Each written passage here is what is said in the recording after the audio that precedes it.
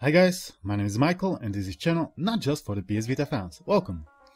Today's video is uh, dedicated again to the catching up with the PS Vita scene, its latest news and releases. First I'm checking out new exciting ports and later I'm looking into some utilities and updates. So without any further ado, let's dive right into the video.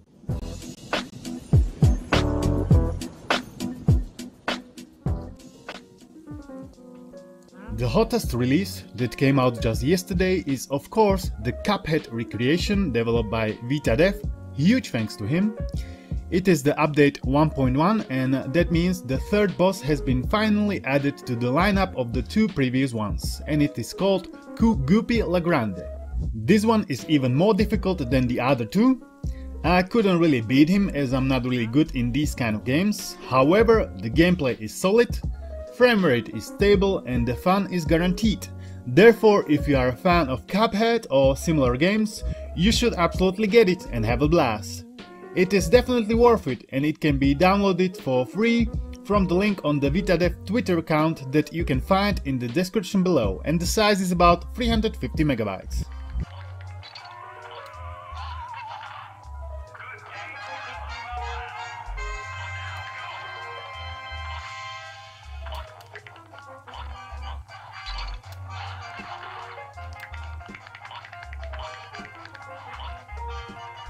Not long after the initial release, the VitaDev also teased another work in progress video from the upcoming Cuphead level, so you can be certain the work on this recreation never ceases, and we can look forward to another update video.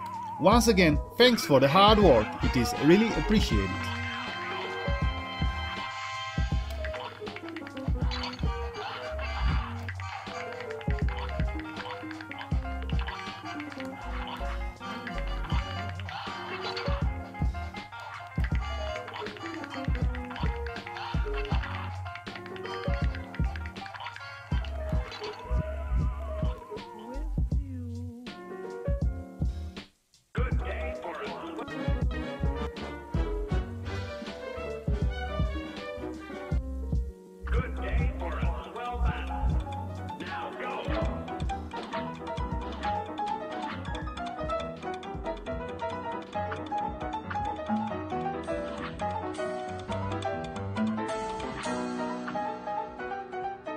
Following port that has been delivered is called Galactic Missile Defense version 1.0 and it has been ported by M-K. Huge thanks to him. It is an endless leaderboard based shooter and tower defense game where you must protect Earth from the invading Martians that declared war on our planet just because a space rover accidentally ruined their picnic. What a reason. Three technologically advanced bases will allow you to hold the front line and unleash destruction upon the enemy spaceships.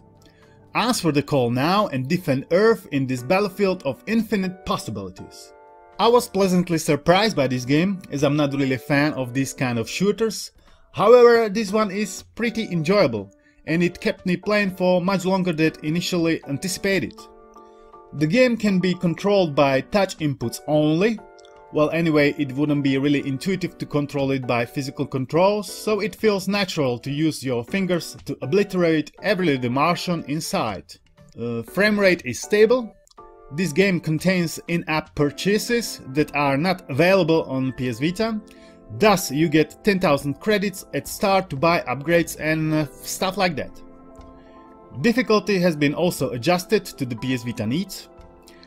I especially enjoyed all the different power-ups and upgrades. There are also different, stronger types of enemies that takes longer to destroy.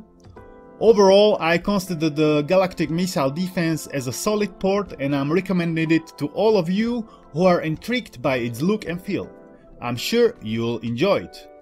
To make it run on your Vita, however, you need to obtain the Steam game files and perform the patch first, then install the VPK and then you are good to go. You can find the release page with instructions down below, or if you would prefer the old school piracy way, the Google search engine with its great algorithm is always happy to help, so feel free to use its service. Size is about 100 megabytes.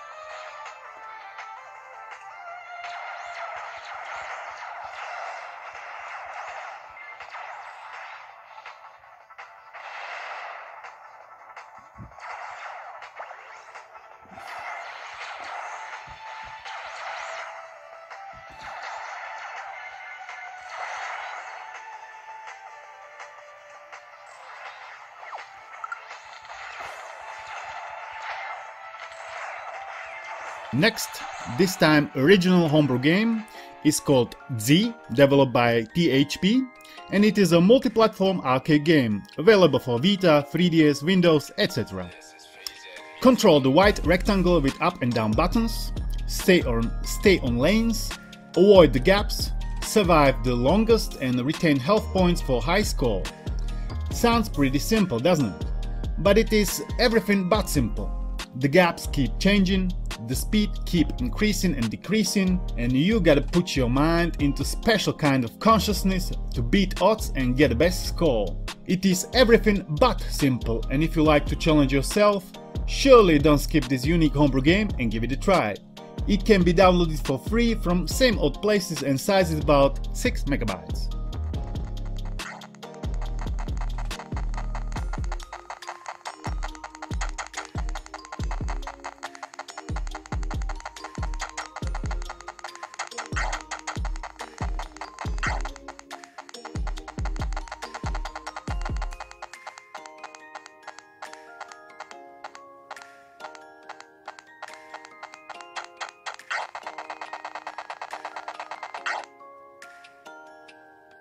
Another port that has silently dropped onto the PS Vita platform has got the title of RT Dink, and it is a port of Dink Smallwood HD for PS Vita.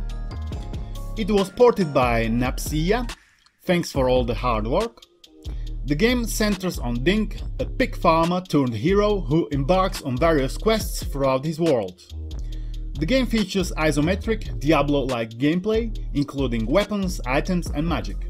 The game is also available for Android, iOS, Windows, Linux and even PSP, surprisingly. I haven't played it before, but I have to say I'm naturally drawn to this game and it does appeal to me significantly, not just because of the Diablo-like gameplay, but also because, frankly, it seems like a proper, fun title. The frame rate is more or less stable, it was just released so expect occasional stutters or crashes, Nonetheless, it is perfectly playable, and all the fans of retro gems should absolutely give it a go if you haven't already. Again, there are some steps to perform in order to make it run on the PS Vita. You can find the guide down below or as usually the complete package is out there. Don't hesitate to browse through Reddit, Discord, etc. and the size is about 80 megabytes.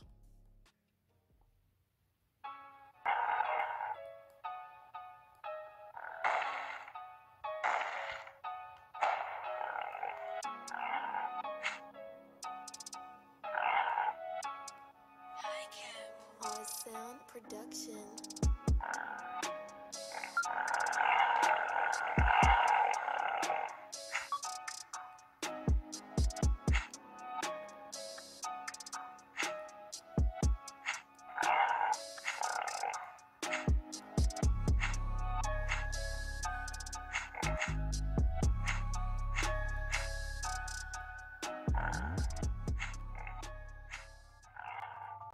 Now to the utilities. The Better Homebrew browser developed by M. Ibrahim has been updated to the version 0.4 beta. A lot of crashes has been fixed. Numerous bugs and memory leaks fixed. There has been also added few more things in settings page. It is shaping up to be a truly exceptional homebrew browser and I'm glad we finally have at least two options for this ultimate tool with limitless possibilities. Well done guys, keep the updates coming.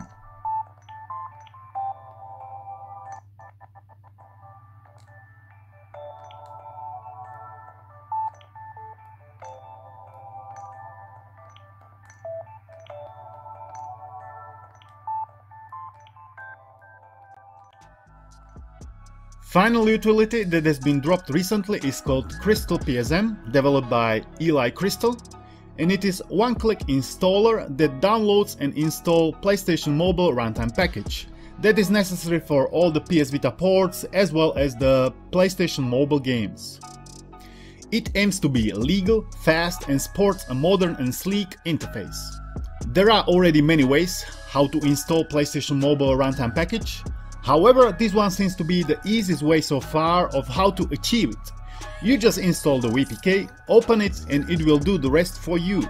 So if you haven't installed your PlayStation Mobile package, go and get it now. It has never been easier. So what do you think about the new ports and homebrews guys? Which one are you getting? Or are you getting them all? Let me know down below.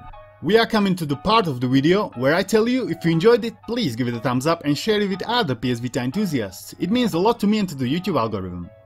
Don't forget to check out our Discord server and follow me on social media. You can now also support the channel, all the links are down below. Sub to the channel means you most likely won't miss upcoming content. There is at least one video coming out every week.